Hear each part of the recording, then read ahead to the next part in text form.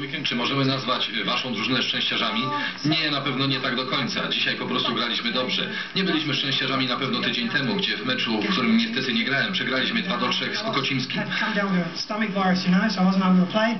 Juchem, miałeś przerwę. No nie zupełnie, cały czas trenowałem, ale na znacznie mniejszych obrotach. Z kolei w tym tygodniu trenowaliśmy bardzo ciężko i bardzo chcieliśmy wygrać. Wiesz, zwycięstwo 3 do 2, gdy w pierwszej części przegrywaliśmy już 0 do 2, to fantastyczny rezultat. Trzy zdobyte punkty cieszą, a my zrobiliśmy kolejny krok do przodu.